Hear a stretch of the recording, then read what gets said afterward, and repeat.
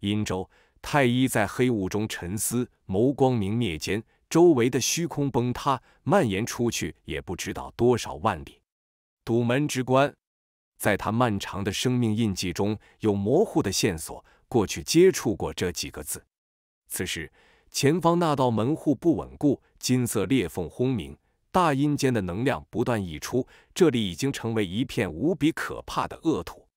现在这片区域，除却几个究极生物外，任何人都不能驻足，否则会在瞬间化成一滩黑血，死无葬身之地。几位究极生物的亲传弟子都是阳间顶级大能，然而放下那些用以破门的天才地宝等物资后，就迅速逃离了，根本无法立足，都只能站在阴州外。我有些印象。这一刻，太医神色凝重，他的脸色在变，双目深处浮现年少时的一些景象，有些缅怀。他也曾年少，也曾神采飞扬，行走在尘世间，很正义，成为那个时代的阳间主角。后来他变了，为了活着，为了更强，越发冷漠无情，视世间生命如蝼蚁。我的师祖曾提及过。这时，太医的脸色彻底变了，他终于想起来了，何时接触过那几个字？是在年少期，实在太久远了。他是何等生物？太一原本不属于这一纪元，逃过上一季的大灾难，蛰伏在混沌海遗迹中，而后复苏。这种古老的生命体曾属于逝去的世界，因为他活的岁月太漫长，不可能将所有记忆都保留，有些无关紧要的都会封住或者直接磨灭。进化路无尽头，任何强者在生命跃迁的过程中都能体会到。若是心思纯净，杂念少一些，与大道炼交融以及蜕变相对容易一些。这种老古董为了保持赤子之心，一般都会斩掉许多无用的琐碎记忆。而现在，他揭开了尘封的一段旧忆，却惊得背后发凉。在这少年时期的琐碎记忆中，居然埋着这样可怕大事件的残片。这时，所有人都看到了他的神色。也听到了他的话语，都意识到这件事很严重，多半极其可怕。堵门之关，这是很久远、很凄凉，曾充满血与泪，关乎着全天下人的生死。太医平静道来，就这么简短的一段话，顿时让人感受到一股沉重。所有人都回头，透过那道门的缝隙，看向被四界大道链锁在那里的石棺。一瞬间。所有人都感受到一股悲壮铺天盖地而来，仿佛看到了一件凄凉的往事，令人心头沉重。我的祖师在上一纪元也几乎算是天上地下无敌的生灵，可是，在提及那个人那口棺时，却是在仰望敬畏。一句话而已，让几位究极生物脸色皆变，感觉如山压顶，而石棺在他们眼中越发的神秘莫测了。似乎体会到了某种凄凉感。祖师说：“不仅我们人族，几乎是天下所有族都险些灭绝。若非有人以棺堵门，举世就没有活着的生灵了。”就是简短，不过一段话而已，却让人隐约间体会到了那个时代的气息。一个流血的世界，各族要亡众了。有人悲观堵门，挡住了大灾祸，保住了世间。堵门之关。不只是挽救我们阳间，还有其他世界。祖师提及，诸天所有大界都被波及，若无意外，都要被天穹上留下的血侵蚀，世间将就此化作血色，万物寂灭，所有种族尽凋零，再无生机。这就是太医提供的旧义，很简洁，没有更为详尽的信息。可是几位究极生物却都无声了，沉默很久。感觉到那一世的恐怖，还有那个时代的悲壮，流血的诸天各界都要化作死地，再无生命印记。那个人是谁？黑血研究所的主人问道。应该与第一山有关。太医答道。当年他还年少，而他的那位祖师并未多说。不过按照后来的一些线索，他觉得与那第一山有关。此话一出。不少人瞳孔收缩，容不得他们不忌惮，所谓的第一山真不是随便命名的，有各种古怪。仔细想来，那里极其可怕，有太多的秘密。那几张人皮的来历颇为蹊跷，诡异的很。有人开口：第一山的九号、六号、三号、二号等都曾出过事，非常邪异，被认为是序列生物，从一到九，最起码有九个。也有人说，那只是一个人曾九次脱皮，现在真身不知在何方。总之，第一山极其让人忌惮，若无必要都不愿沾惹。武皇为亲传弟子出头，曾与那九号交手，感觉如何？有人问道。武风冷漠道：“他很强，我出动的虽只是一件兵器，化我肢体，不过……”他一显蛛丝马迹，绝对的恐怖无边。毕竟只是一张人皮，若有血肉，着实不好揣度。嗯，我也想起来了一段模糊的记载。这时，另一人开口：“来自地下世界，为某一黑暗源头。地下世界早已存在无数岁月，有血腥的一面，但也在探索世界的真相，发掘古往今来的各种重大秘密。毕竟……”世界每发展到一定时期后，都不可避免的终结，走向寂灭。他们想研究透彻，挣脱出来。所有人都看向他，连太医都露出意外之色。这个人行走地下世界，贯穿这个纪元。早年时曾在遗迹中挖掘到过不属于这个纪元的石碑，破译出不少文字。堵门之关，堵的是上苍之上，将诸天万界都与那里隔绝。不然，别说人族，就是仙族，便是那仙王等，都要覆灭，各大界都会若泡影般凋零，归于死寂。纵为究极生物，在场的几人也都心中巨震，这很可怖，万界沉坠，诸天亡种，有些甚人惊悚世间。按照记载，那个人大战过后，堵住了天上的缺口，阻止了祸源的蔓延。而且后世也有无上天帝堵过门，拿母气鼎镇压，可惜石碑残破，记载有限。地下世界的这个究极生物很遗憾，当年他心中有所触动，可后来随着实力强大，却有些不怎么相信那记载了，不再当真。而今看到堵门之关就是一起，让他脊背发凉。那石碑上的记载居然有可能为真，并非夸大。他的这些话着实再一次震撼了在场的几人，不止一次堵门。我们有一天是否也要去堵？有人低语。一刹那，所有人的脸色都变了。现在他们在干什么？不是堵门，而是拆门。我们还得再进化，不然。有人开口，同时摇了摇头，每说几个字都是一顿。谁都知道他的意思。纵然是究极生物，还是不足，要继续前进，再蜕变。每个纪元都会莫名终结。越是强大的生物，越是焦躁不安；越是到了他们这种层次，越是觉得心中无底。前方迷雾重重，一切都过于诡异可怕。黑血研究所的主人疑惑道：“这不对。太阴间虽然是推演中应该存在的一界，可是并非绝对无人去过。”或许上一纪元，或许更古时代前，有前人曾走过那条路，至于这么危险吗？大阴间的确可怕，在阳间人看来，那里就是地府，是森罗浴场。一旦两界贯通，定然天崩地裂，生灵涂炭，要死亿万人。但是几位究极生物却相信，两界悬殊不至于那么大，可以一战，不见得说阳间就比大阴间弱很多。关于堵门之关的记载，其可怕之处是否被夸大了？大阴间就是上苍之上，不太像。很显然，这里的门户并不是传说的那道门。但是无论怎么看，都像是有些关系，手法相近。这件事你们怎么看？是否要惊动低山，请那里的序列生物出来一谈？相继有人开口。因为这里确实不太对劲，不解除那缕怀疑的话，总会令他们不安。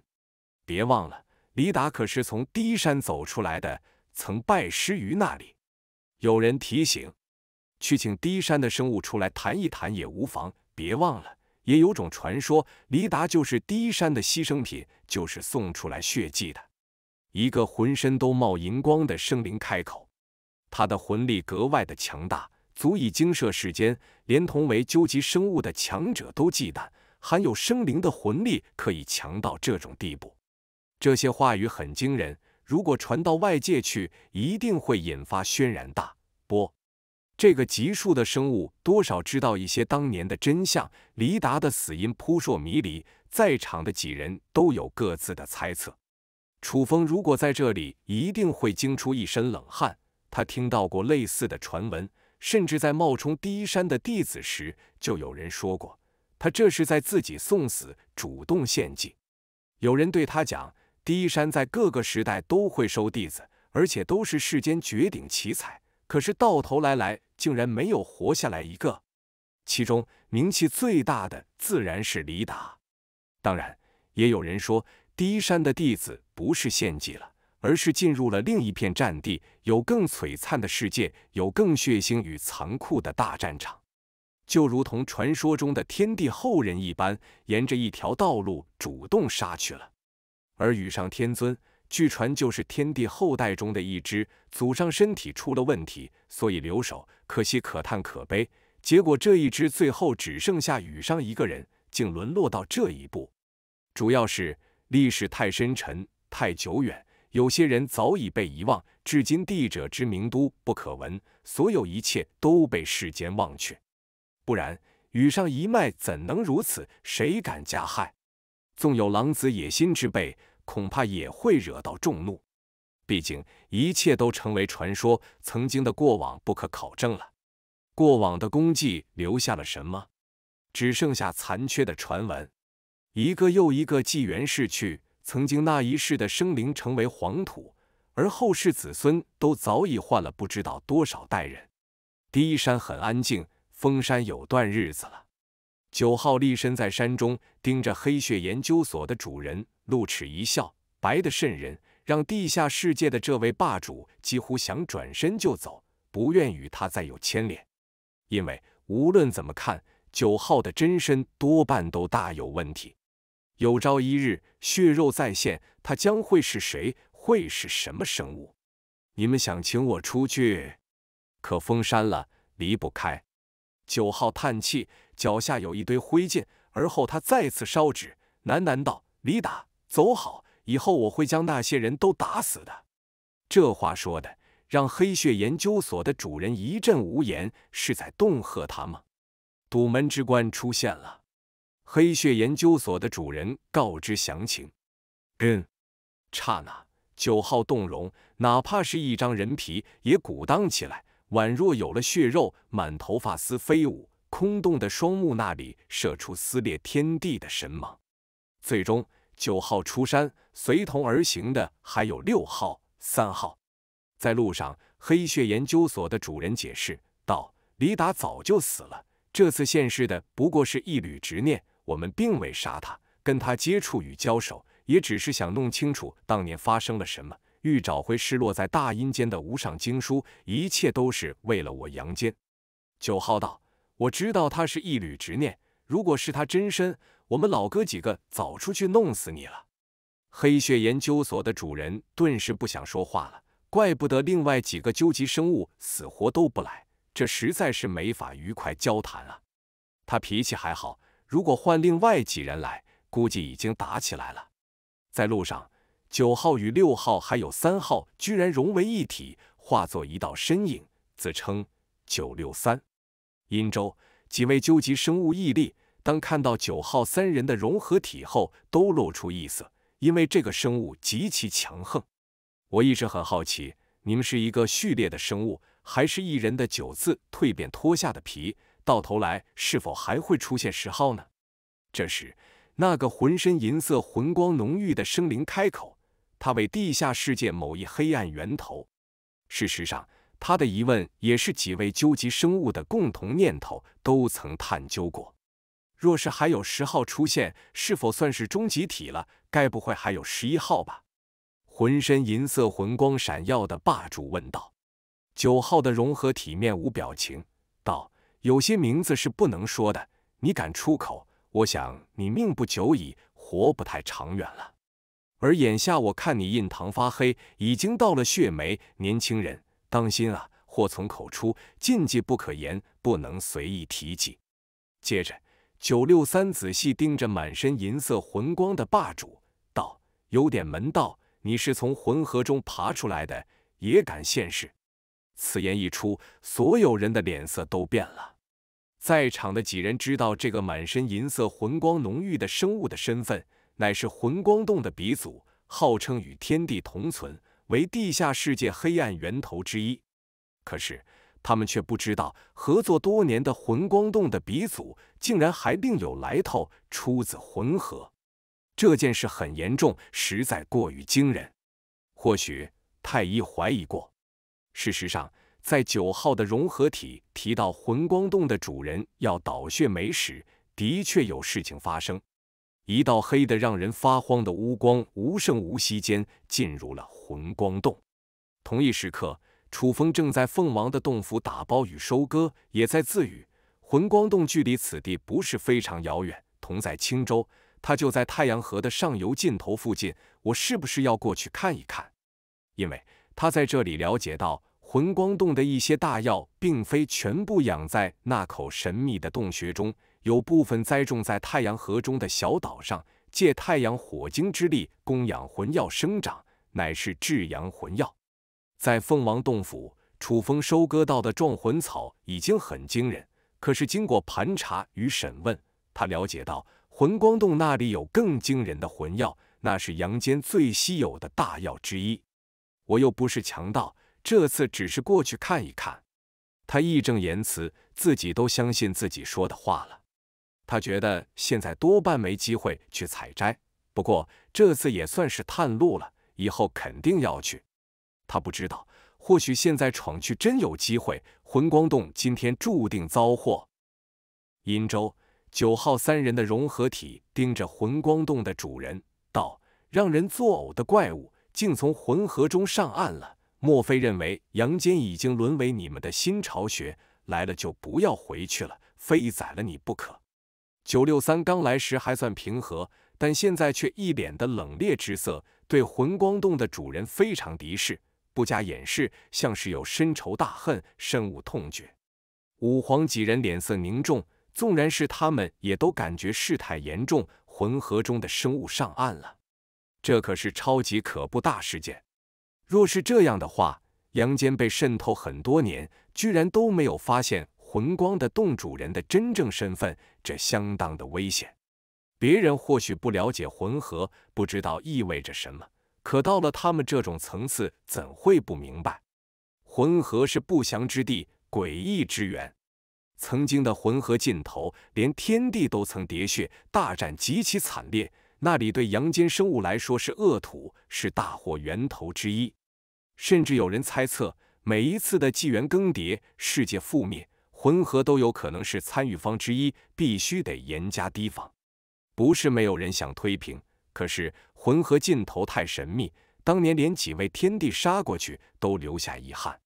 他们以为扫平了一切，可事后才觉察，竟还有最后一关，匿在诡异尽头的黑暗中，没能找出来，不曾攻破。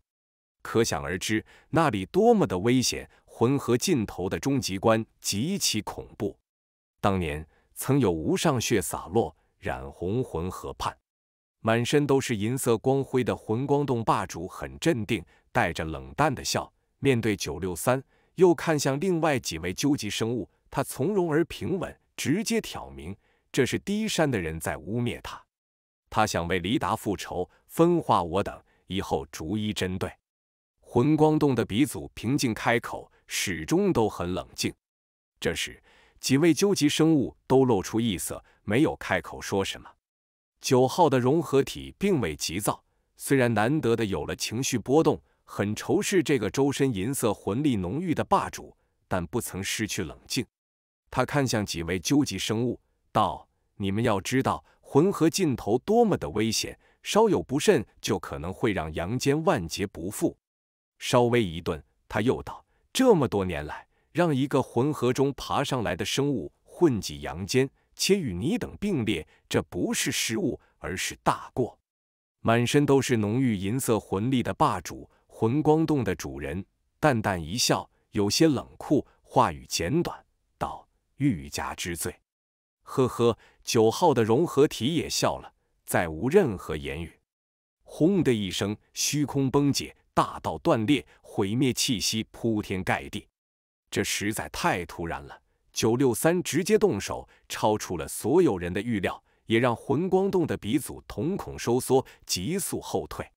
然而天地彻底变了，到处都是模糊的痕迹，无论是天上还是地下，亦或是虚空中，都烙印满纹络。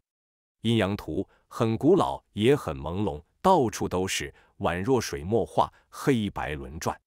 九号以前施展过，但是却同现在不一样。此时威能更恐怖，无数的阴阳图浮现，很模糊，烙印每一寸虚空间。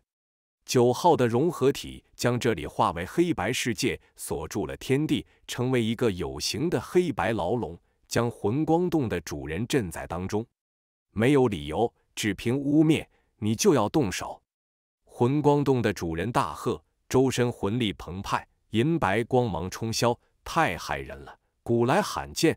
这么灵魂力惊人的生物太可怕，他以魂光就要切开时空了，要撕裂一切阻挡。要什么理由？老子认出你的身份，闻到魂河中独有的恶心气味后，何须解释？哪里需要为谁说明？直接动手就是。刚才说那么多，不过是为了稳住你，怕你逃走。九号的融合体吼道：“刚才。”他最主要的目的是封锁此地，无数阴阳图痕遮拢了天上地下，同时这也是为了保护这片大地。不然的话，现在九六三太可怕了，辐射出的能量足以让阴州毁灭。你们还不动手，真要看他离间我等，以后逐一出手吗？魂光洞的主人对其他究极生物喝道：“尔等当自重。”别让我怀疑你们中还有浑河中爬出的生物蛰伏。九六三开口，接着他又道：“虽然同样涉黑，但你等不过是行走在黑暗中，有血有肉；而浑河中爬出的怪物则不同，是感染体，是诡异源头之一。”几位究极生物无言。什么叫涉黑？真是不中听啊！这老家伙当他们是在混吗？轰隆！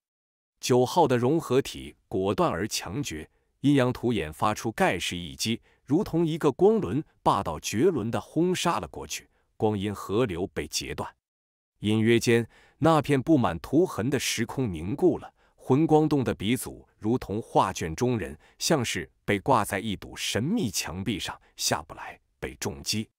噗！阴阳光轮凿穿魂光洞的鼻祖，真血四溅，惊射世间。敢从魂河中爬出来，我就敢弄死你！九号的融合体咬牙切齿，像是有血海深仇、无边的大恨。现在他如此凌厉摄人的气质，与他平日人畜无害、漫不经心的样子完全不同。吼！魂光洞的鼻祖嘶吼，恐怖气息弥漫，无形的魂光在震荡，太过骇人了。若非阴州被锁，它足以让数以亿计的生物魂光燃烧，死个干净。即便如此，离这里最近的观战者阴州外的大能还是受到影响，一群人噼里啪啦的坠落下去，魂光都在跟着震荡，几乎要炸开。这实在骇人。九六三都已经锁住阴州了，还会如此，足以证明魂光洞的鼻祖无愧是究极强者，动辄就可以灭河山亿万里。你是不完全体，是要召唤魂核中的真身，还是说要呼唤你的主子？九号的融合体冷笑道：“恐怕不行。今天我说了，禁忌不可轻言。你印堂发黑，就要死了。”轰！九六三站进先手，阴阳光轮旋转，没入那璀璨而巨大的魂光中。魂光洞的主人，其魂力惊慑人间，自身的魂光高达不知道多少万里。矗立在大地上，太具有压迫性了。他要以魂光，以无边的魂力撕开桎梏，磨灭九号的融合体。但是此时他遭受重创，阴阳光轮生生不息，没入他璀璨而磅礴的魂体中，截断了光阴，震得他魂血飞溅。说弄死你就一定弄死，履行承诺。九号的融合体低吼，凤王的洞府，楚风收割完毕，足足获得一大捆壮魂草，每一株都洁白无瑕，清香阵阵，让人灵魂都为之迷醉。这东西能滋养人的灵魂，可以续命，为稀世是真。除此之外，他还从那药田中收集到部分大能级土质。这是更加让他心动的好东西。如果量足够的话，可让石罐中的种子再发芽。太阳河畔的这座洞府很美丽，风景如画。山门内尽是各种灵藤异草，白雾蒸腾，神泉汩汩，犹若仙境。现在整片道场都一片寂静，这里的进化者都成为阶下囚。楚风看着凤王道：“我本与你无冤无仇。”你等竟要以什么优雅的姿态狩猎我？现在还觉得有趣好玩吗？他很厌恶这个女人，虽然的确美丽的惊人，是一个少见的丽人，但是他依旧不想手软，临去前要解决掉她。凤王平日里焉是媚行，是一个祸水级美人，在阳间有极大的名气，一直高高在上，而现在心中大惧，她的魅力，她的手段，现在全部失效了。这个楚魔头根本不吃这一套，我一时被欲望遮了双眼，还请给我一个机会，魂光洞会给你足够的补偿。凤王祈求，想拖延时间，因为他对自己的师门有信心，背后的能量恐怖无边，有震慑阳间的底蕴与来头。可惜楚风不为所动。你叫凤王，辱没了这个名字。楚风还真不是违心的话。的确有这种感受，因为在过去，这个名字曾给他留下很美好的回忆。地球上曾有一只凤，被称为不死凤王，当年与他相过亲。想起当年，楚风一阵怅然，有些出神。他有些感叹：青葱岁月啊，就这样逝去了。在地球天地异变初期，他居然被父母逼迫去连着相亲两次，满满的回忆。第一次是和夏千羽。当时还有天头江洛神，第二次相亲，他便遇上了身高一百七十五公分、一副女王范但却失忆的不死凤王，还带给父母看过。那时两个老人都很开心，很满意。多年过去，有些人多半再也见不到了，有些事早已成为过往，不复再来。十几年了，不知道不死凤王怎样了，应该活着吧？希望安好。楚风一叹。噗！短暂回忆后，楚风击毙凤王，并为手下留情。至于那个赤发天尊，自然也难逃一死。管你是否为魂光洞的嫡系。所谓的天地异象、血液倾盆等，并未出现，因为被楚风一拳轰散、打灭了。紫鸾一哆嗦，有些怯怯的、弱弱的，这才是他熟悉的楚魔头。对敌下手时，从来不手软。不卖了，他小声问道：“卖给你个头！”楚风敲了他银白的脑门一下。在阳间，他当人贩子的话，能卖给谁去？难道挂在魂光洞前叫卖？实力不允许。好痛！可恶的魔头！紫鸾抱着头，又差点哭出来。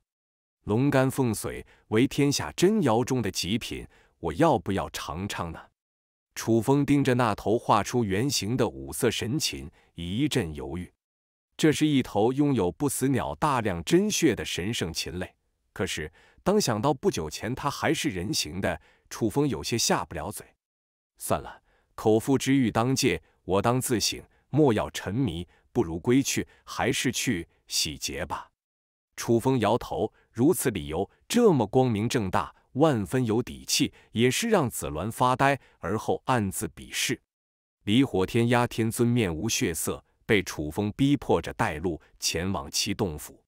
最终，楚风在太阳河中的一座洞府内失望而去。离火天压是个散修，府中实在没什么奇珍异宝。这就是魂光洞。楚风带着紫鸾赶到了目的地，来到太阳河上游。盯着一片云蒸霞蔚的锦绣山川，当然，说是来到了上游，其实离魂光洞还隔着无尽遥远之地呢。并且这次他以轮回土护住自己与子鸾，并十贯遮蔽，确保安全最重要。所谓的魂光洞，的确就是一口洞。它位于那片神山群最中央区域的主山上，隔着很远都能够看到那里喷薄瑞霞，魂力汹涌，神圣无比。至于山间，奇花异草到处都是，氤氲灵雾四溢，神霞澎湃，各种瑞兽与灵禽不时出没，多不胜数。这块地域有强者，不过似乎发生了异常现象。因为楚风看到山中许多进化者昏厥倒在山门中，有点邪性，怎么似曾相识呢？该不会又被那位光顾了吧？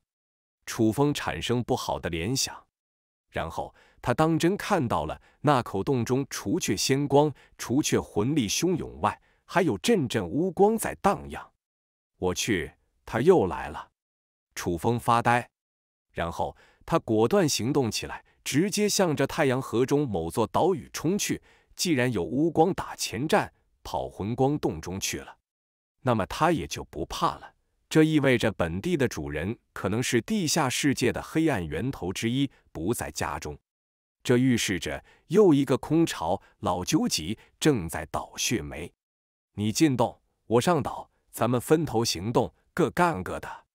楚风兴奋，岛屿上绝对有不可想象的魂药。借助太阳火晶生长，这是要发大财了吗？他要干一票大的，感觉热血沸腾。那道乌光进入魂光洞深处扫荡很久了，但却一直没有离开，因为始终觉得这里异样，有特殊的痕迹。轰的一声惊天巨响，他发现线索，开启了某一座隐蔽的门户，打开了古老的封印，然后他便看到了渗人的魂河。弄死你们！这四个字自那黑的让人发慌的乌光中传出，像是有形的超声波，呈网格状构建出一条通道，跨过时间与空间，连向未明处的一条河——浑河。黑的让人发慌的乌光中，有一双灿灿的眸子开合，犹若大渊中的两盏金灯，非常明亮，但却看不到这个生物的轮廓，依旧模糊。它散发无尽的杀意，带起一阵罡风，所过之处，魂光洞光秃秃了，什么都没有剩下。大道链浮现，魂光洞四分五裂，无光没入那条宛若涟漪波纹组成的通道中，直冲魂河而去。这是要死磕到底！吴光想屠掉魂河的生物，魂河显然不在阳间，他不知在何处，超脱世外。轰隆！没有任何话语，吴光闯过网格状通道后，直接出手，撼天动地，生猛的就截断了魂河。嗷！可怕的低吼声，像是亿万神魔在嚎叫。无数的魂光冲起，遮蔽了天宇，混乱了光阴，古今都要颠倒了。那道黑的让人发慌的乌光也跟着暴涨，接着起雾了，无边灰暗覆盖，什么都看不到了。大雾遮天，整条浑河都不可见，死一般的寂静。若是有人在这里，一定会胆寒。乌光一击，何其霸道，堪称盖世的攻击力。可是最终起雾后，就让整片天地死寂了，再也看不到，听不到，谁都不知道里面正在发生什么，连乌光都像是消失了。直至片刻后，大雾散去部分，一切才模糊可见。接着，此地沸腾，浑河水花翻涌，浪涛无数。接着，大雨滂沱，铺天盖地，覆盖了这里。仔细看，雨非天上来，而是起自浑河，倒冲向天，遮蔽了整片世界。最为可怕的是，倾盆大雨变质，所有的雨点都化成了魂光，带着混沌气，无穷无尽，冲向无光。这实在瘆人。一个雨点就是一个混沌神奇，在这天地间密密麻麻、无边无沿，都满身是魂血，实在太恐怖。此外，岸边上黄沙漫天，逆着雨而起，所有沙粒都化成虚影，是稍弱一些的魂光遮盖了天上地下。所有的魂光，所有的虚影，都扑向无光。轰！浑河畔惊天巨震，再次昏暗了下来。大雾又一次遮住天地，什么都看不到了。直到后来，天空中身影无数，皆染着魂血，密密麻麻，剧烈燃烧，大量消散，也有些化作雨点坠落回浑河中。漫天黄沙，有些易烧成虚无，湮灭在空中；有些则坠落在岸边。这让人惊叹：浑河一朵浪花内，也不知道有多少雨滴都蕴着魂光。岸边。一粒沙亦是一缕魂，浑河漫长，岸边黄沙无数，很难想象到底积淀了多少，这实在有些恐怖。简短的激烈冲撞结束，天地寂静，浑河无声，非常昏暗，一切都模糊下去，唯有一道乌光隐约可见，在岸边与浑河对峙。黑得让人发慌的乌光中，一双眸子开合，目光摄人，十分璀璨。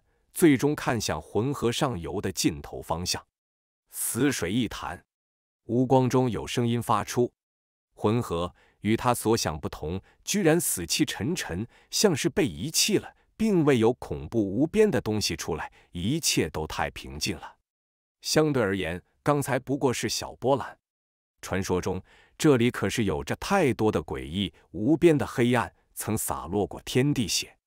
还没到时间吗？所以浑河尽头的那道门没有开启，你出不来。乌光中有这种疑惑的声音。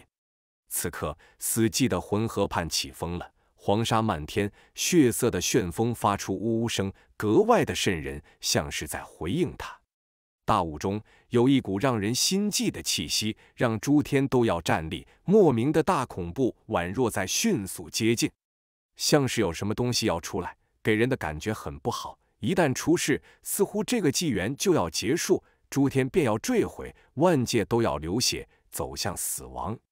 大雾遮天，浑河水渐渐动荡起来，要彻底复苏了般开始躁动，接着迅猛轰鸣，暴涌向天。上游浑河尽头有可怕的铁链声响，像是有带着枷锁的诡异东西在走动，在接近。诡异在哪里？你倒是滚出来呀！那道乌光中传来喝声，当真是不服又强硬，胆大包天。哐当，门在震动，伴着铁链的声响，砸门声震耳，让人自骨子中感觉到一股森寒之意，毛骨悚然。浑河尽头，迷雾覆盖，好像有一道门要砸开了，震慑人世间，疑似有目光透出，冷酷的审视诸天万界，吓唬谁呢？烟砸东西，我早晚弄死你们！敢恫吓我，敢威胁我，大个的出不来，爬出几个小个的来，我全弄死！如果让人知道一道乌光跑到这里叫板，挑衅浑河尽头，绝对都要目瞪口呆，头皮发麻。这太逆天了，其胆子实在大的离谱，生猛的一塌糊涂。轰！飞沙走石。狂风大作，整片浑河暴乱了，即将决堤，沙砾漫天，魂影无数，哀嚎声、神魔魂海等到处都是。不过那道乌光不为所动，依旧在那里，冷笑道：“看来是出不来，难道还有更诡异的东西在圈养你？”唰，一刹那，浑河外天地间嫣红，像是晚霞出现，又像是血染诸天。那是血的气味接着悠悠声响起，居然是混沌渡劫曲。这种无上妙术竟成为浑河畔的某种招魂曲。亿万魂光如同光粒子蒸腾而起，没入浑河尽头。血色世界在这可怕的曲音中若隐若无间，像是有极其模糊的声音传来，让人心中如同长了草般发慌，接着又撕裂般的疼，最后发闷。诸天魂落。为何永存？这是未知时代的语言，源头太古老。纵然是乌光中的生物学究天人，也只大致判断出那是很多个纪元前的古语。不过能够听懂，因为有某种魂力在朦胧的扩散，化作魂念。这片地带无比的诡异，浑河绵长无尽，曲音悠悠，血色天空可怖，大雾扩张，上有铁链撞门声不断。能出来就别避避。乌光不退走，依旧横在此地。突然，一股冷冽的寒意出现，如同钢针刺骨。在浑河上游，真的有东西出现了，爬上河岸，还真出来了。乌光中的生物瞳孔收缩，这倒是超出预料了。而且不是一个，而是两个生物，极尽恐怖，全都不可名状，惊悚世间。诡异的源头真的出来了东西，带着血与世界末日的气息。乌光中，那双瞳孔收缩，接着黑的让人发慌的乌光整体沸腾了。它并未退，而是生猛无比，带着狂风，带着大道秩序链横扫了过去。全都弄死你们！轰！一片金光喷薄，犹若垂天之翼。一头由符文组成的鲲鹏展翅，从那浑河上游扑击过来，声势浩大无边，阻击乌光。顷刻间，下游这里乌光暴涨，大道链交织，贯穿向鲲鹏，宛若烧红的长刀刺入雪地中，嗤嗤声不绝于耳，白雾蒸腾。这是秩序的冲击，这是大道的对决，爆发出冲霄的光芒，让寂静的浑河都躁动，大浪滔天。魂影无数，上游的生物非常强大，抵住了乌光中那位强者的惊世一击。我似乎感觉到了熟悉的气息。乌光中的强者止步，不再杀意沸腾。他低声自语，盯着迷雾中的两大可怕身影。这里是浑河，是世间诡异源头之一，有着莫测的危险，出现什么都有可能。但是。本已不存在的人再现，这就有点不寻常了。两头生物从那浑河上游走来，其形甚人，没有一点人模样，诡异状态过于惊悚，样子太可怖了。可以看出，他们当年应是人形生物，至今还保留着部分残存的特征。但是现在还能称之为人吗？根本不可能再是。一头生物下半身除却两腿是人腿外，臀后还有猪躯，此外腹部斜长出来半截人形尸骸，与其相连的头颅上，包括面部，都长满了红色的尸毛。这还只是下半部分躯体，至于上半部分就更复杂了，比厉鬼还凶，难看而渗人。他的脖子很粗，满是肿瘤，连脸上也如此，每颗肿瘤都有鸡蛋那么大。而在一些肿瘤上，更是有猩红的眼睛、锋锐的牙齿等。这么密集的肿瘤，给人一种密集恐惧感。至于他原本的那张嘴，都歪斜到了左耳边上，并且嘴唇缺失，露出白骨与牙齿等，那里缺少血肉，是头颅上唯一没有肿瘤的地方，狰狞而摄人。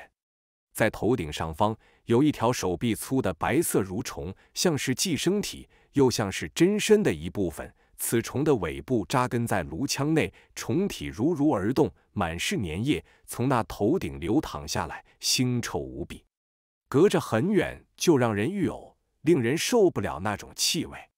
至于这个人的手臂、胸部等，也都极其异常，比如多出数十条上肢，甚至多出来残躯，像是许多特殊的尸骸拼凑在他身上。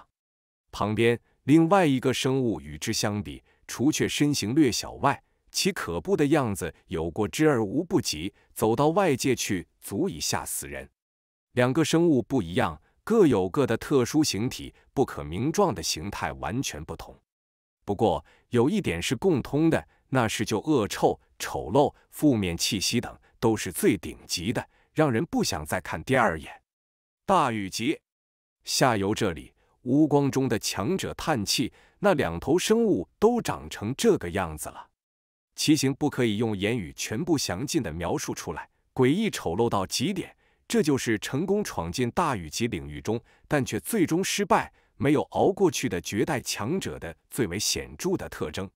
想都不用想，能够跨足这个领域，不管他们最后的结局如何，都意味着这曾经是两个精彩绝艳、可以打遍一个时代无敌手的强者。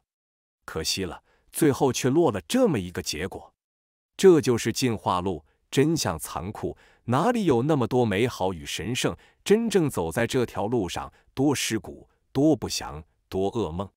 越是到了后来，道路越艰险难走，甚至前方直接就是断路了，再也走不下去。不然的话，谁愿意变成这副模样？比鬼都不如，生不如死。无光中的强者难得的没有杀意沸腾，而是很安静、很有感触的看着那两头生物，神色有些复杂。出手吧，让我看一看你们是谁。时间太久远，虽然有阳间的气息，但是毕竟很多年过去了，谁也说不准是否真的是遇到故人。也许是他们的师门长辈，也许只是熟人的尸骸被诡异寄居了。看样子来了一位阳间的盖世生灵，要寻我们的根脚，不会是故人吧？一个生物居然开口了，不再是寂静无声，其声音很沙哑，更有一种让人厌恶的特殊精神波动。被污染成这个样子了吗？无光中的强者叹息。浑河是万恶源头之一，是诡异的大本营，可以污染一切。究极生物一旦陷落在此，都可能会成为感染体，走上不归路。你错了，我不是被动感染，而是求新求变，主动祭祀，找到了一条通向浑河的古路，祈求接受我。那个更高一些的生物开口，没怎么迷失，还记得当年的许多事。现在的他正在笑。结果歪在耳边的嘴露出白骨，再加上满脸的肿瘤，实在太狰狞可怖了。乌光中的强者眸子顿时收缩，杀意如天刀，割裂了虚空，让浑河顿时大浪滔天，令整片河岸都在轰鸣。无数的黄沙飞上高天，顿时魂影无数，被激荡起来后，哭嚎声响彻这片诡异之地。还真有这样的人。本在阳间生，却背弃自己的种族，情愿被污染、被诡异纠缠一生，沦落在恶土。这样的变强，这样的进化，有什么意义？背弃自己的母族，有朝一日甚至还会更进一步的反噬。你还有什么理由苟活死？这一刻，无光中的强者出手了，与之前再也不一样，冷酷了十倍，连乌光中的眸子都不同了，化为青金色。炽盛而可怕。这时，他探出一只手，五根指头齐张，飞射出五种光束。仔细看，那是五种开天本源气息，符文无数，构建成一种无敌妙术。五行溯源。那个不可名状的生物讶异，他觉得可能是遇上了故人，因为这是十大无敌术中排位在前几名内的妙术。这种有传承的东西，其他进化者很难接触到，都是一族专有或者一教独传。恒族的老族长，那个生物鹤问道：“恒族号称阳间第一族，何以获得这种地位？除了无上呼吸法外，该族长还握最少两种无敌术，其中五行溯源就是其中之一，也就只有佛族与道族能够与之比肩了。你认错人了。”无光中的强者冷漠无比，将这一妙术推演到极致。五行逆溯本源，直接展现出真正的开天辟地时代的景象。那种开天的力量浩荡而来，轰的一声，他将附近区域的浑河都打爆了，蒸干了也不知道多少珍贵的河水。不过，那个不可名状的生物无惧，在此过程中早已出击。那是浓郁的银色光辉，从他那不祥的身体中倾泻而出，像是星河坠落，又像是江海决堤，磅礴而浩大，浩瀚无边。这是一种祖物质，是被腐蚀、被污染的魂道本源，太浓郁了。它可以对诸天生物压制，任何生灵都有灵魂，都可以被它攻击。所谓的十妙术。早已落伍过时，这是浑河尽头记载的无数种秘术之一。煞，那个不可名状的生物喝道：“他很强，魂力沸腾，祖物质弥漫，当真是要碾压一切有灵魂的生物，有镇压诸天万界进化者之势。可惜，到头来这种可怕的秘术，也只是挡住了五行溯源，却挡不住那道随后而来的乌光中探出的一个拳头。轰！”烟杂东西也敢跟我叫板，连自己的种族都背叛了的不人不鬼的混账，死！这一拳惊天动地，蒸干不知道多少里浑河，威能太大了，让浑河上游尽头的铁链声再次剧烈响了起来，不断砸门。要知道，这里可不是一般的地方，禁锢一切，相对来说很难打破什么。一滴浑河水就蕴含着毁灭之力，足以抹灭阳间许多强者。可是现在断河又断魂，大浪滔天，打上高空就消失了，被融掉了，都是真正的混沌神奇的魂光在磨灭。砰！那个大雨级怪物急速倒退，想要躲避这一拳，可是根本就没有用，躲避不开，拳头轰进了不可名状的身体中。噗！各种腥臭的液体四溅，那是污染的血，更有浑河中的特殊物质，带着腐蚀性，能够让这种极数的强者成为感染体。可是乌光中的强者无惧，周身鼓荡，符文无数，震散了一切。不，这个不可名状的大羽级生物惨厉的大叫：“他不想死，要不然也就不会主动入浑河投靠之。都沦落到重境地了，全身上下人嫌鬼厌，结果还要死。说了要弄死你们全部，自然要做到。你这种东西在大羽级中也是排名垫底的货。我知道你是谁了，死不足惜，凭你没资格号称大羽级进化者，死！”这个乌光中的强者说话算数，履行承诺，当真是要弄死浑河这里爬上岸的怪物。轰！那个不可名状的怪物炸开了，形神俱灭，哪怕是他身体内的污染源也被打散了。天上洒落血雨，宛若天哭般，并且电闪雷鸣，大道横贯，星河倒悬，规则金莲浮现并焚烧，各种异象太多了。这是大禹生物陨落后应有的异象，一个都不能称之为阳间生灵的恶心怪物，也配天地交感，为他而鸣。都退散！无光中的强者很霸道，直接就是一拳轰向高天，全部打散。所有的血雨与焚烧的规则莲花等都崩开了，不见了，异象消失个干干净净。死去的强者当年是意外得了机缘，进入大禹级。虽然是垫底的存在，但终究也是阳间某一派的开山祖师，最终沦落到这一步，弃母足求长生，此时惨死，可悲可恨可叹。无光中的强者摇头，怒其无骨气，哀其大雨露之不幸。你又是谁？无光中的强者看向另外一个生物，很奇怪，这个诡异的怪物刚才居然没有阻止，始终不曾出手。两个怪物是一起出现的，眼前这头居然没有干预这一战，眼睁睁地看着早先那头怪物被击杀。尤其是现在，他居然在略微的发抖，整具吓人的身体都在颤动。他太丑陋了，居然如此让人诧异。不过他绝非是害怕，应该是一种情绪上的剧烈波动。是你吗？真的是你吗？他终于开口，是一个女子的声音，带着无尽的哀怨，还有无边的失落，更有一种期盼以及某种难掩的喜悦。这个是一个女人，居然是这种态度。他发抖，颤颤巍巍，张开了血盆大口，想要说什么，他的心都在悸动，他冰凉的血都热了起来，他昔日的情感全部复苏，他饱含着感情，可是。他看了看能自己，却这么的丑陋，浑身上下从头到脚哪里还有一点人样子？被人看到会受到惊吓。不啊！他一声凄厉的惨叫，捂住了自己的面孔，不断的倒退，不断的后挪身体，一步一步，他浑身打颤，无法面对那个人。曾经的热烈，往昔的等待与期盼。还有一腔最为浓郁的柔情，现在却化作了冰冷、自怨自艾。他恨不得立刻去死，怎么能在这里见到他？怎么能让他看到如此丑陋的容颜？他当年可是拥有天下最美容颜的丽人之一，有好事者给出排名，她被许多人称之为天下第四美人。可是现在，她还有什么？诡异、不祥、恶臭、丑陋。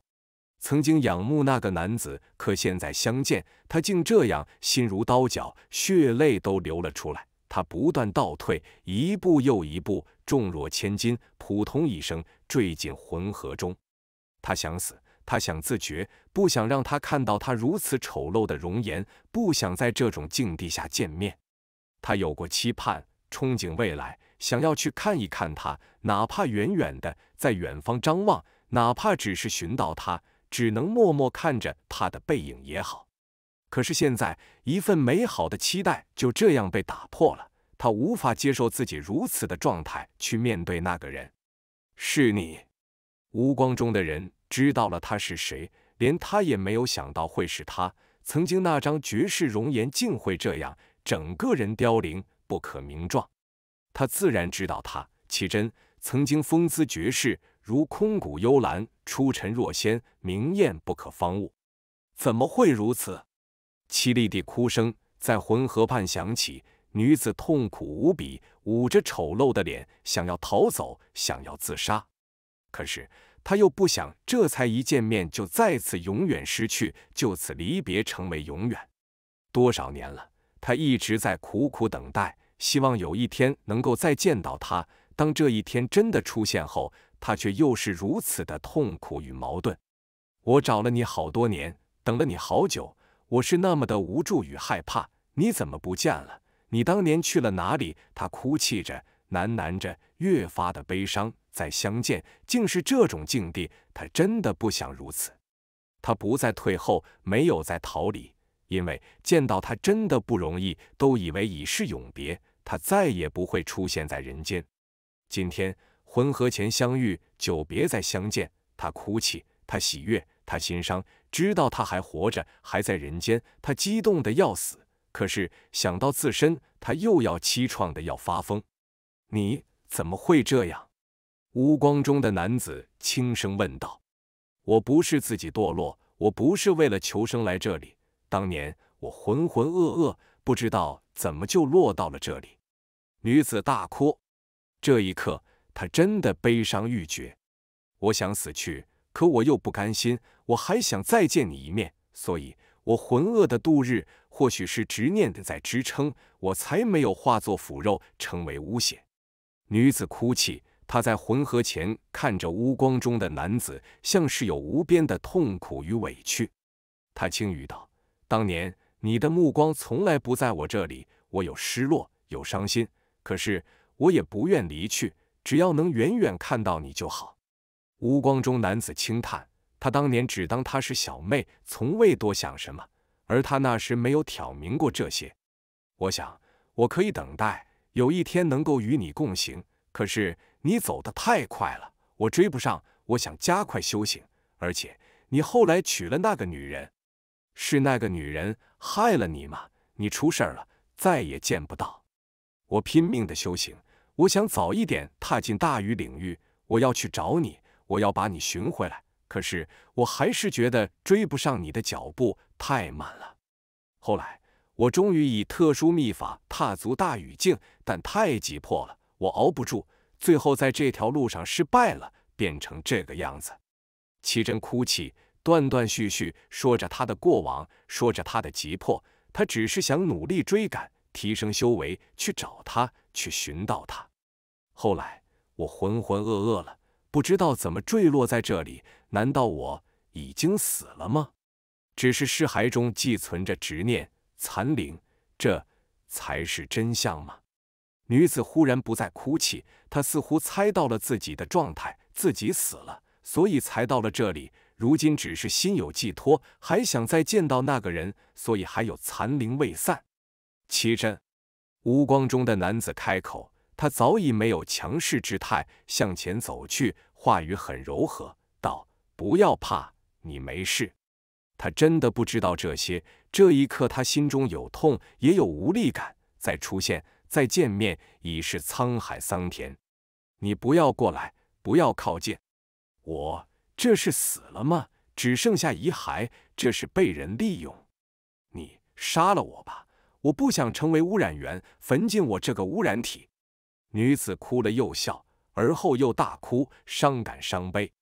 我见到你了，我喜悦，可我也悲凉。为什么是这种境地下相遇？我是如此的丑陋，我要走了。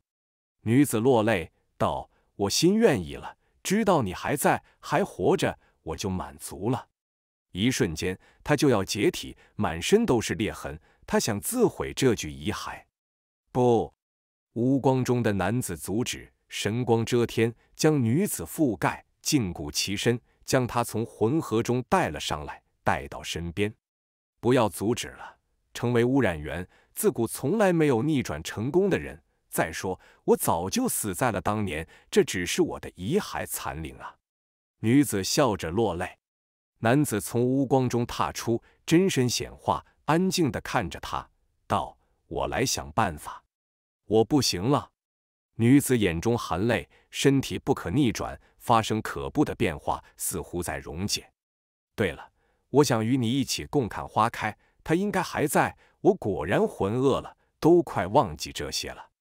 说话间，在女子的心口那里浮现一束桃枝，接着花蕾含苞欲放，晶莹而灿烂，带着淡香。它是仙药，花中的绝品，不为进化。传说可以带给人好运，或许就是它庇护我，残灵不灭，一直在遗骸中长存。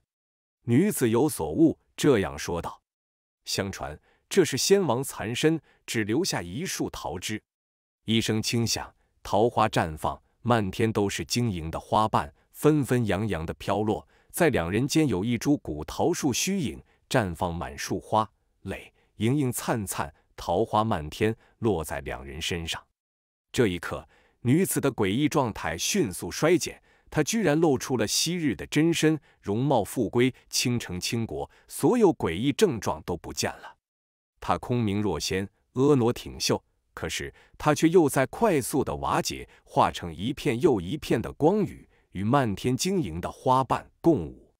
保留到现在，我终于看到。桃花只为一人开，女子笑着流泪说道：“朕风永固。”男子大吼，声动天地，状若盖世神魔，想要留下女子。最终，一切都消失了，漫天花瓣纷纷扬扬，随风而散。到头来，在他的手里只抓住一片暗淡的花瓣，其他都再也不见。男子没有再发出怒吼，保持可怕的沉默。很久之后，他才平静开口道：“世间是否还有地兵在？借来一用。”在这种声音下，四方巨震，宛若在号令天下，各地轰鸣不止。浑河畔也在震动，而后远处的黄沙飞起，河岸崩裂了，有残钟碎片飞出，轰的一声落在他的手里。同一时间，魂光洞外的太阳河中，楚风身上有一物飞走了。正是从太上禁地中带出来的青铜长条块，疑似从青铜棺上脱落。现在轰的一声爆鸣，下一刻向着魂光洞飞去。浑河畔，男子手持残钟，握着长条形青铜块，一步迈出，就到了浑河尽头。这里铁链声响，震动天地。那一道门户的缝隙间，正流淌出诡异的雾霭，极其渗人。赤。男子带着兵器，直接化成一道乌光，竟然自那道缝隙没入，闯进浑河尽头的门后世界。吼！你敢！有野兽般吼声传来。男子的声音很冷，他彻底爆发了，大吼道：“我宰了你们全部！”这一日，浑河大动荡，发生惊天大事件。浑河畔依旧残留着淡淡的清香。仿佛还能看到模糊下去的花瓣在纷纷扬扬的洒落，那是不散的眷恋。曾有一个女子，她等待了半生，追寻了半生，一生心酸，为了找到他，不顾一切的修行进化，结果却是那么的伤感凄凉。桃花只为一人开，声音虽已消散，但却饱含着太多，某种情绪似乎还在，有无尽的不舍。可是，一切终究都空寂了，什么都留不下。杀！乌光中的强者径直闯进恶土，一声大吼，响彻四方，震动了天上地下，让浑河沸腾，堤岸大崩。他以行动祭奠，只身杀入门后的世界。吼！门内世界兽吼震耳欲聋，天崩地裂，让乾坤万物都仿佛要炸开了。那个被锁住的诡异生物在嘶吼，门内昏暗而可怖，满地都是血，近处尸体很多，有被吊死的，被磨盘碾断的。在浓重的大雾中，这里显得极其的妖异。远处景物虽然很模糊，但更为瘆人。没有任何话语，无光中的男子进来后，直接向着门后那个诡异而又恐怖的生灵出手，强势无边。哪怕这里是传说中的诡异源头、万恶之地，他也毫不惧怕。他虽然没有对那女子许诺，不曾呼唤出声，但是现在刚猛霸道的出手，却也揭示了他的内心怎能无所动。纵然是心坚如铁，他也被触动。眼前仿佛还有那个女子落泪的笑。多少年了，他在无助与凄凉中等待、希冀着。桃花只为一人开，终是等到了那个人。他看到了，可是带着馨香的花瓣与那女子的魂与共归去，漫天分舞后是永远的失去，又怎能不痛？他不是冷酷无情人。现在一腔悲与怒化作最为浓烈的杀意，还要说什么？唯有横扫了此地，哪怕是浑河，哪怕是传说中入者必死、无人可生还的绝凶恶土，他也要掀翻，他要扫平这里。在他的手中，长条形青铜块变大，气势如山岳般磅礴，他向前爆裂的轰杀过去，在昏暗中。在这片外界无法想象的恶土，一切都很模糊，迷雾遮掩，唯见那个生物体格粗大，整体黑乎乎。当瞬息间，火星四溅，那个生物举起手中的铁锁链，封挡青铜块，大到痕迹如同波纹扩散，并且剧烈与迅猛无比。轰的一声，两者爆发的能量横扫了门内世界，导致这里大乱。门中的生物。庞大的黑影直接倒退出去，他带着兽性，哪怕是被那浩瀚的力量砸得倒退，双臂皲裂，血液飞溅，骨头茬子露出，他的双目中也是一片猩红，死死地盯着乌光中的男子。同时，地上有各种器物、残破的车辕、浓缩的星海，以及一些混沌气弥漫的至强尸体等，都跟着横飞、断裂、崩碎。这是一片恶土。绝世兄弟，谁敢犯浑河？死！那踉跄倒退出去的黑影，在远处稳住身体，胸膛剧烈起伏，而且低吼出了一种野兽般的声音，能够听懂，只因其魂念在震动。他像是在宣判：闯魂河者，形神俱灭！轰！乌光中的男子双目深处射出骇人的光束，现在比这个凶厉的怪物还要可怕许多，猛得一塌糊涂。没有什么可说的，他要祭奠以浑河尽头的诡异生物为祭品，为那与桃花共逝去的女子讨个说法。当年是谁让他坠入浑河？敢这样利用他？当诛！长条形铜块如同一柄大剑，刚猛霸道。横扫过去时，犹若不灭的山岳轰砸，打爆时空，连光阴碎片都被磨灭了，像是可以定住永恒，改写古今。当再次火星四溅，怪物的双臂带着锁链绞来，同那青铜块碰撞在一起，顿时秩序如海，神炼万道，规则星河澎湃。在此过程中，这道黑影发出愤怒的吼声。在他的双臂以及锁链被压得下沉时，他头上的一根粗大的黑色犄角被轰中，伴着血液直接断裂。犄角落地，像是一座不朽的神山坠下，砸得整片门内世界都轰隆隆作响，要崩塌了般。一根犄角落地，竟能如此沉重的，宛若九天坠下，要压沉大地。这个黑影咆哮。愈发的愤怒，结果他又遭受了更为可怕的一击。无光中，男子另一只手中的大钟残片震动，有形的钟波宛若洪水决堤倾泻过去，太壮阔了，无边无际，光芒刺目，轰鸣不绝。黑影怒吼，整个人被震得翻腾，浑身是血，中波如利剑，似天刀，破开前方一切阻挡。将这个诡异生物贯穿，污血到处都是，侵蚀天地。他发狠，断裂的犄角那里银光沸腾，魂力如潮汐向外涌动，可怕的能量全面轰了出去。那是无边的魂物质。这种魂力攻击比之早先魂河畔那个大羽级怪物更强、更摄人，隐约间时空都要被磨灭了。任何生命体有灵魂的生物都可能会被这一无上秘术镇压。可是让人震撼的是，无光中的男子冷静而镇定，并未受损。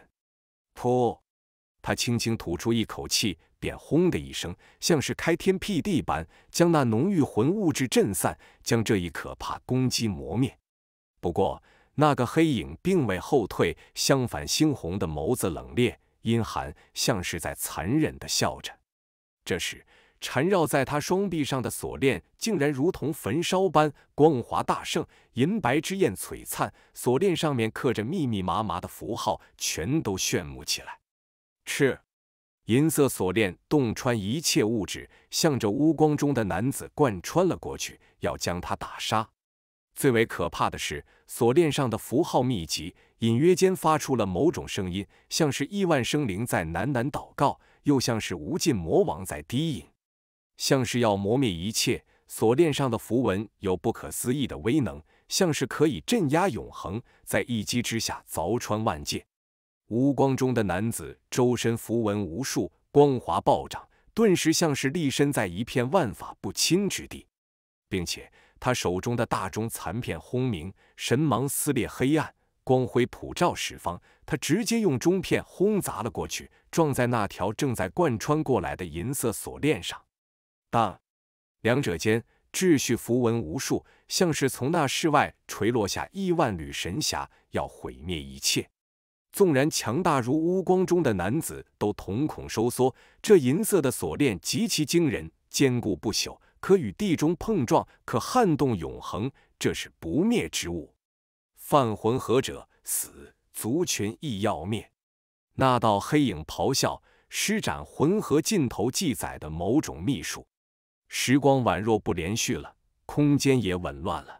他像是立身在不同的时空内，许多身影成片的浮现，将对手围住，一起出手轰了过去。咚！巨大的震动声传来。乌光中的男子用大钟残片发出钟波，横扫六合八荒，并且各种妙术迸发。噗！乌光中的男子发狂，根本就没有所谓的持久战，很迅速，在电光石火间就打出了惊世的能量。黑影满身裂痕，溢出很多血，他奋力对抗，用银色锁链封挡，要锁住虚空。然而这一刻。他的头颅突然“砰”的一声，宛若一个烂西瓜，被乌光中的男子霸道而无匹的一击轰破了。魂念沸腾，愤怒的嘶吼响彻门内世界。这个生物急速倒退，手中银色锁链发出炫目的光芒，照亮此地，连他的真身都因此清晰可见了。他失去一颗头颅。但是身上却还有四颗头颅，一颗在肚子上，一颗在后背上，还有两颗在左右双肩上。他果然可怖无边，满身都是黑红色的尸毛，比厉鬼都要凶。脸上坑坑洼洼，蛆虫在腐烂的血肉中进进出出。显然，那是某种不祥之虫，绝非普通的食腐物种。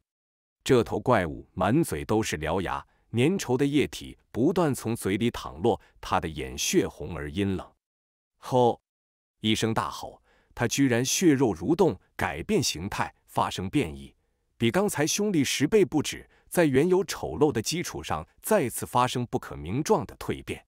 恶臭扑鼻，他浑身都半腐烂化，且身体各部位生长出许多恶心的头颅、触须、爪子等，根本没法看了。果然是被人圈养的，身负锁链。乌光中的男子开口：“那怪物的身上银色锁链的一端连着一根特殊的石柱，它被锁在此地。擅闯魂河，死亡都不是你的归宿。你将如同刚才那个女人一样，就此浑噩，永世被奴役。”怪物仇视在那里开口，并且在吟诵某种经文。他手中的银色锁链因此更是进一步光芒大盛，让整片昏暗的门内世界都一片白茫茫，再也不昏暗阴森了，可怕无边。那种声音侵蚀人的生命印记，让人迷失，要陷入死亡的浑噩中，放弃自我。然而无光中的男子挡住了。这个男人太强大了，眉心出现一个符号，猛然射出冲霄的光束，而后焚烧出无边的火光，足以洗礼世间，可以净化一切污秽。此刻的他，满头发丝乱舞，目光撕裂虚空，无比的摄人。浑河尽头的诡异怪物，竟然还敢提那个女子，让他一腔的怒火与悲绪全都爆发了出来。你怪物竟然都有些惊悚了，你该死，不可恕！乌光中男子有无边的杀意，如同瀚海般的战力，狂暴汹涌，无边无际爆发开来，屠掉怪物，灭了诡异，这是他此时强大不可动摇的心念。轰！在他的双手中，长条形青铜块与那大钟残片一同轰鸣，一同震动，数十次、上百次的轰击向前落去，几乎是瞬间将那个怪物给打爆了。这种霸道，这种凶猛，简直让人难以置信！直接轰碎诡异之体，活活震爆了怪物，惊慑世间。这里是浑河的尽头，是万恶之源地，谁敢涉足，谁能来这里？一旦身陷此地，注定将身死道消，永世沉坠。可是乌光中的男子却在这里强势无匹的打爆了那个怪物，让他四分五裂，污血四溅，腐烂残块到处都是。吼！怪物嘶吼，血肉重聚，再次重组，一切都是因为那条银色锁链将所有的腐肉与污血都再现与聚集过去，使之复苏再生。无光中的男子无惧，轰的一声，眉心的符号再次浮现并焚烧。无边的秩序，密密麻麻的规则，还有许多条大道之链，在那里组成符文火焰，将前方的那个怪物淹没。怪物惨叫，不断翻滚，同时无光中的男子震动大钟碎片，令它暴涨，重现出一口完整的大钟。原本缺失的地带是由能量符号构建的。接着，他另一只手中的青铜块也蔓延出能量符号，构建成一口完整的铜棺。轰隆！他提着两件特殊的兵器，一步迈出，天地都在共振，都要全面崩塌了。嗡的一声，两件兵器宛若两座大山般砸落，让那怪物都惊惧了，脸色骤变，焦躁逃窜，可惜根本躲不开。噗！这一次更为霸道。两件兵器如山岳，将怪物砸爆，彻底的没了。溅起的污血与腐肉都在刹那间成为灰烬。门内世界深处，又一个莫名的存在嘶吼，在那里爆发出无量的诡异物质。他有无边的怒意，低沉的咆哮，竟震断了大道的轨迹，万物仿佛都要寂灭了。他实在强大无边。多少年了？竟还有人敢来这个地方攻打了进来，一怒大杀，这让他暴怒，叫唤什么？你也去死！无光中的男子提着两件特殊的兵器，一步迈出就是无尽远的距离，进入这片世界的大雾深处。轰！最终，他又活活将那个强大无比的诡异生物砸死，轰爆了。而后。在他一步又一步的进逼中，前后共有六大怪物毙命，全都是被活活打爆，惨死于此。整片世界都安静了，再无声息，唯有乌光中的男子一个人在前行。在他的身边，似乎有朦胧的桃花雨在洒落，这是他的某种心绪。他怅然又无奈，还有悲伤，终究是没有能留住那个女子。奇珍。那个空明若仙的女子实在有些可怜。曾经的天下第四丽人，为了找到她、寻觅她，焦急苦修，结果自身不可名状，又被拘入浑河中，浑噩于此，如此的凄凉可悲。他所求不多，只希望她还活着，然后一如当年，远远的看着他的背影，安静的追随。他的确活着，并没有死在当年的阴谋血乱中。可是。他那简单的愿望却未能实现，黯然而逝，花开离散，从此永别。我掀翻浑河，打穿此地，为你而祭。乌光中的男子提着两件特殊的兵器，大步闯向最后的恶土尽头。